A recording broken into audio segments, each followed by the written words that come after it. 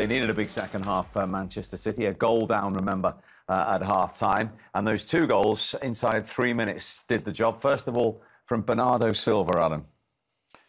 Yeah, I mean, he, he's just a quality player, but this this is the difference, Rodri, is that he, he gets through the lines there, a little bit of skill, and there's a coming together. They're both as bad as each other. I don't think that's a foul, him and uh, him and Lockyer. But then the finish from uh, from Bernardo Silva is just quality. The way he guides it into the uh, into the corner. He doesn't get it the first time, but he stays alive. Look, yeah. he's got half a second to think about that to know what he's going to do knows where the goal is, and he, just guides it with a little bit of bend on it in that uh, into the corner, and the goalkeeper's got no chance. Real quality, Jacob, from Bernardo Silva. Real quality. Um, I think because it comes at him so quickly, he, he has no time to think. So it's just getting that contact, find the corner, and obviously use use defenders that are in the way as well. Mm. And just to clear up, no foul. Luton wanted a foul on Tom Lockyer. No foul. I mean, Lockyer plays the ball, but it's just a coming together. There's no way he can get it out of the way and if anything, uh, I'll be looking for a penalty there. But uh, no, I think it's play on and um, Bernardo give it what it deserves because it was a good run from Rodri. Now, Jack Grealish, the match winner. Why did you say it was such a big goal for Jack Grealish? I just don't think he's had that big moment. You know, he's had nearly moments, even with the Man City game against Tottenham when he broke away at the end and the referee never played advantage. I think he needed a winning goal. And having a poor time, it's not the biggest occasion, you wouldn't think. But after not winning in five, you know, it is a massive game. They needed to get back to winning ways, and and I think um, you're dreaming for chances like this, Jacob. Yeah, um, you know, it ends up being a nice um, a nice little tap in at the back post, but you've got to be in them positions to to get the goal, and there he is.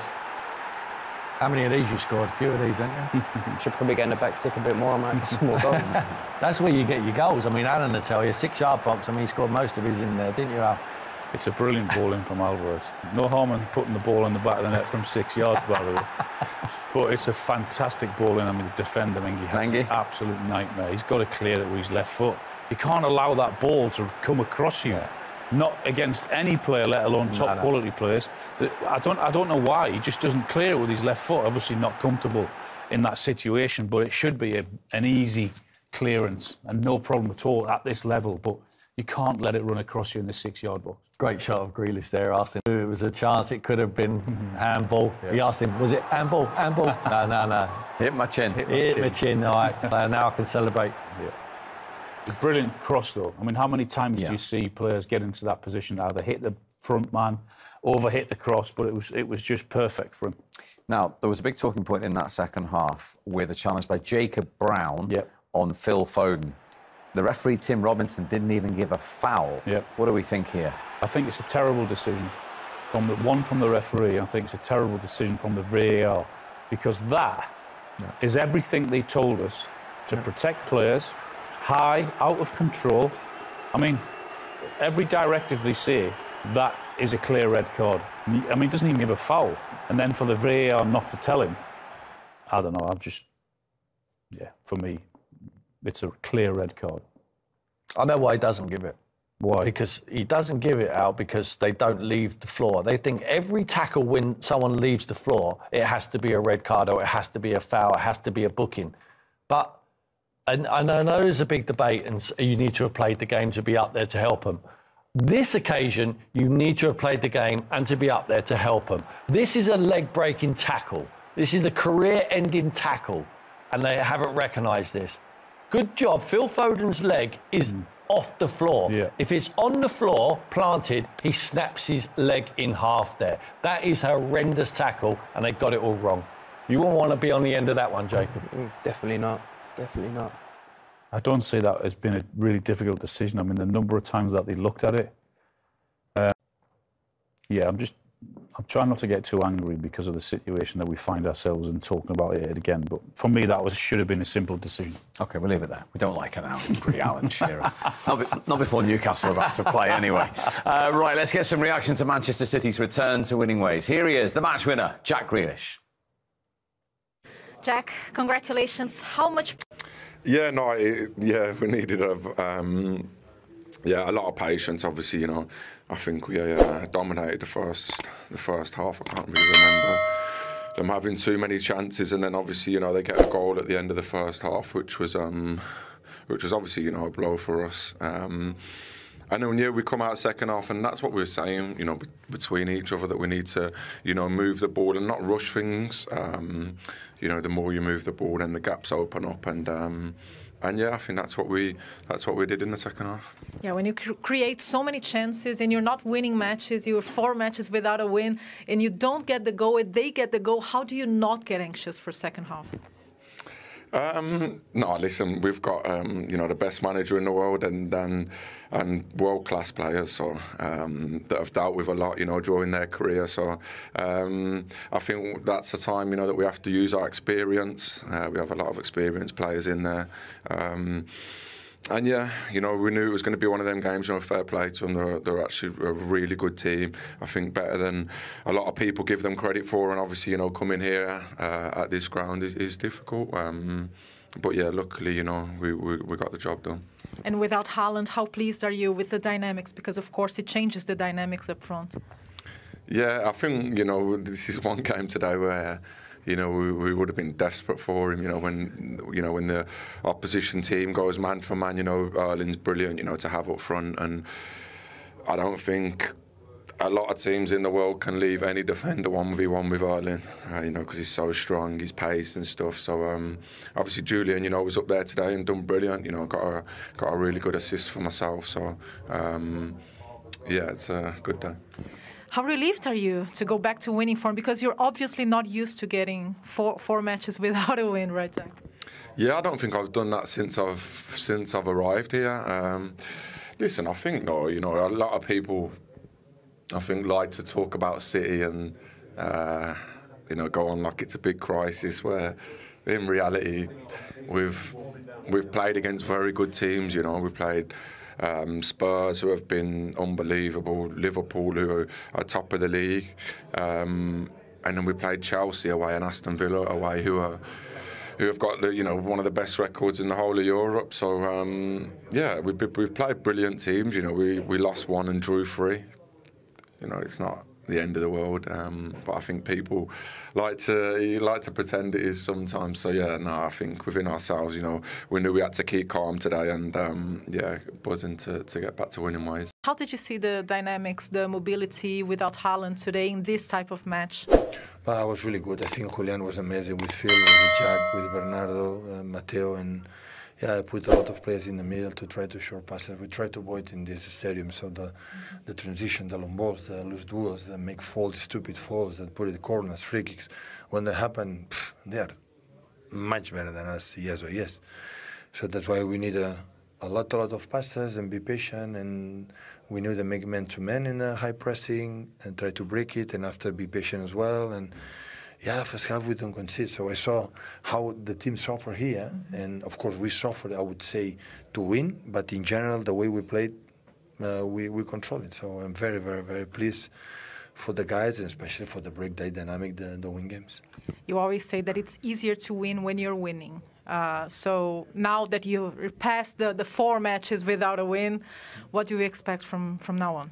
Now is rest. We're going to, to, to fly to Belgrade to already qualify first to to, to play a good game for prestige because we have to do it and and it's not a stop. So after Crystal Palace we will travel to to World Cup to Saudi Arabia and after come back again. So yeah, but of course it was important for the belief for ourselves to believe that uh, yeah, the people say it's over, but it's we wanna make them wrong and believe it still it's not over. Still we wanna be there. Uh, we'll be able. It depends on us how we perform.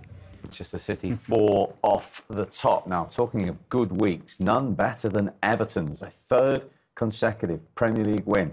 Not conceded a single. To get three points, they just needed that win. It wasn't vintage by any stretch of imagination. You had to suffer, but once they got those two goals, and even at times set pieces coming into your box, they handled that well. It's, it's a big win for them. We got a title race this year, and that's what we all wanted. Yeah, as far as Manchester City's performance is, is, concerned, it was controlled without them being as explosive as we know they, they can be. Yeah, we said before, it, it was never going to be easy going to Kenilworth Road. We, have seen teams previously that put up a fight. Second half, I just think Luton ran out of steam, made mistakes, unforced errors that didn't need to. It was so comfortable at half time. But Man City can always that little bit of a chance. You, you give them something to feed on, and that's what they did, and they, came out winners in the end. It wasn't vintage, anything but. But it was the three points that, that really mattered for Man City. And as well as Luton did, particularly in the first half of, of that game, that defeat, coupled with Everton's result, leaves them looking slightly adrift in the inside the bottom three, with that gap to Everton now at four points. Yeah, you look at. I think you've got to forget Everton. They've got too much quality in the team and understanding, and they're going to get so many results. You just got to try and hope you can get a Nottingham Forest, a Crystal Palace, Bournemouth for an incredible run. Wolves, I don't see them in, in the equation. It's going to be so difficult for Luton, Burnley, and Sheffield United. One of them has to almost produce a footballing miracle. That's how difficult it is. Try and find some wins from somewhere. Sheffield United picked up a good one yesterday. Luton have been in every match. I feel so sorry for him. Rob Edwards is doing a brilliant job with the players he has at his disposal. First half, as Michael says, they were excellent. He's just trying to hang on and trying to get those points. It's been heartbreaking, obviously, against Arsenal midweek and then again today. If they could have just got three points out of those games, it'd been incredible for them. But that's the Premier League we might well have a story on our hands. And again, it might involve Luton, who've caused so many problems at Kenilworth Road for top teams so far this season, and they lead by a goal to nil. Deservedly so at the break, Jamie? Yeah, absolutely, in terms of that, that last chance. But it's been hard for them. I mean, don't get me wrong, Man City have had all the ball, and it just shows you need to have a bit of bravery at times when you do get it. Wonderful piece of play by Ross Barkley. Once they get that ball out into this area and you get Andros Townsend on it, you think, well, OK, he's got that delivery. We've seen it so many times in the Premier League. He cuts back. Adebayo makes such an incredible leap. He gets above Ruben Dias early. This is a bit of skill I'm talking about. That's bravery in your own half. You lose it there, the ball ends up in the back of your net, and they do so well. Holds off Rodri, and then they get away and they get down that side. It's so risky, and you don't put you don't put Luton in risk in that bracket because you play to his strength, but take nothing away goes in from from uh, Lockyer and he's just confident in giving the ball to to Ross Barkley, which we touched on before. The quality and this from Andros Townsend. He always has one thought in his mind: How do can I cross the ball? Can I chop back in onto my left? And he puts a fantastic ball in Adebayo. It's hard for Dias. He's What's running it? back and he gets above. Is it because he gets early? Doesn't it? The centre back, it's your worst nightmare where you can see he gets up so hard. before As soon as the ball's going over your head, you're moving your feet quickly and you get in that position, and the forward just gets a slight touch on on your back and he's above you then, then you're in big trouble. And then can Adebayo get a good contact? Listen, yes, he does. He gets up, like, he gets up there, but he's up already, bam, and then you can't stop him. Yeah, Dias, as soon as you get in that position, you, it, it, it is. Sometimes the ball in, he's so good, and, and the forward's pulled onto your shoulder. Doesn't matter what you, you talk about defenders getting in bad body position. There was nothing he could do nothing there. It was do. just magnificent play from from Luton. It was that first little bit of quality that had. Andros had a couple of times, he was whipping it in with they his were right growing foot. into the game. They though. were. They were growing into the game, and at the uh, final, well, at the half-time whistle, Pep Guardiola was very angry with the... the Manchester City manager, and you can understand why the way that first half has gone. Yeah, frustrating um, for a Man City point of view. Not created anywhere near as much as they could and should have. Um, but I think all the credit has to go to Luton. I think they've been unbelievable, well organised, direct when they had to be. Um, great attitude and got the goal just before half time. So it's been pretty much perfect from them. Yeah, and we were talking earlier on about your manager wanting pressing and work rate. Luton have been right in Manchester City faces. Yeah, I think they've got the, the blend perfectly right at the moment. You know, they're pressing high when they need to, and then they sit nicely, nice and compact in their, their low block. So, yeah, you know, they've got the blend right so far. And the assist came from a man you know well, Andros Townsend, for the goal, right on the stroke of half time. Yeah, Andros don't need any invitation off even foot to put that ball in the box, and that's the instruction from, from the manager, and he, and he chops it back onto his left foot, and you know exactly. Do you remember, if Adebayo, he knows exactly when that's coming in.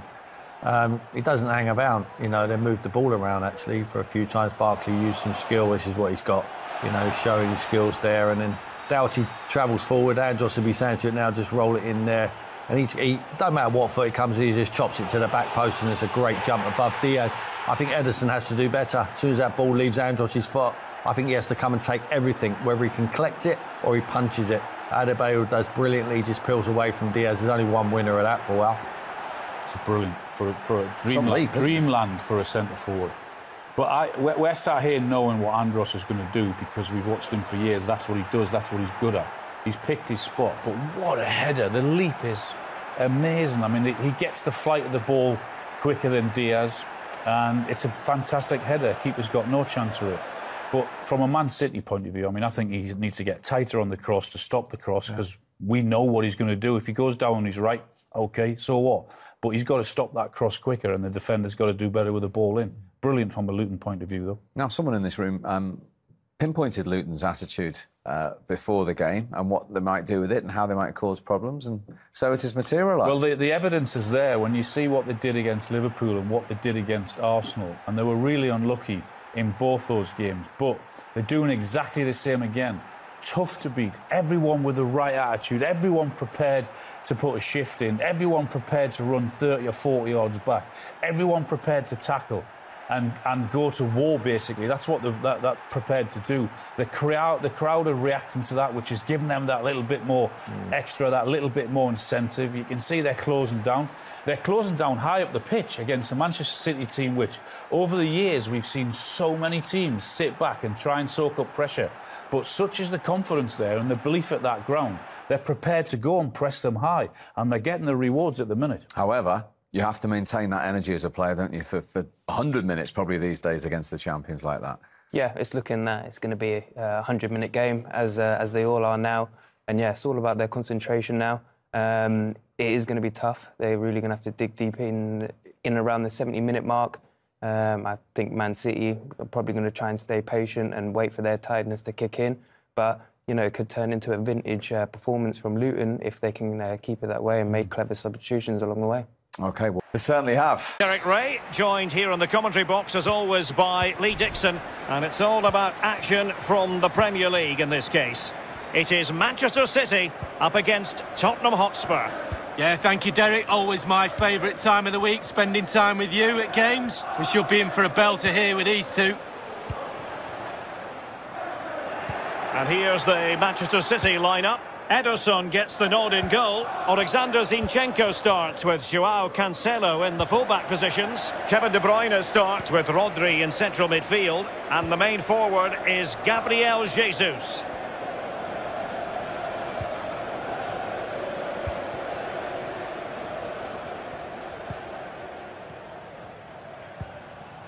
Joao Cancelo.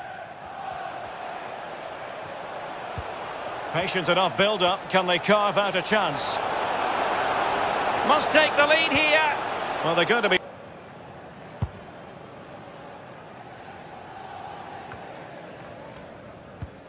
I must say, I think it's impossible to take your eyes off Kevin De Bruyne when he's in top form. And Lee, so much to like about the Belgian and the way he goes about his business. Absolutely. I'm just trying to think of a weakness. I'm not sure how good he is in the air heading, he probably can still head the ball, but everything else, left foot, right foot, sees a pass, scores goals, energetic, vibrant, hungry. I could go on all night long.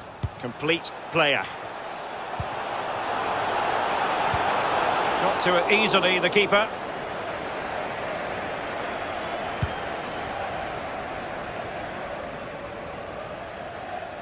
Losing the ball, Dele Alli. De Bruyne threading it through.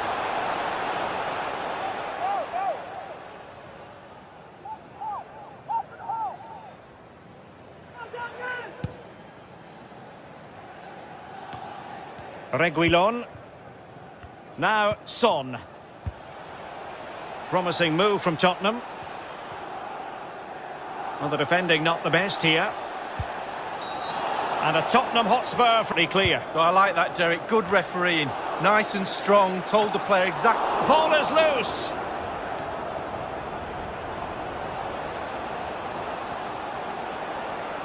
Pierre. Well, goalkeepers live a charmed life at time, but that was just brilliant. Really, really good goalkeeping.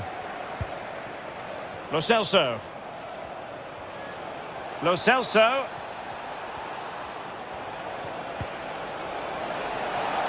Bale. Son in the centre.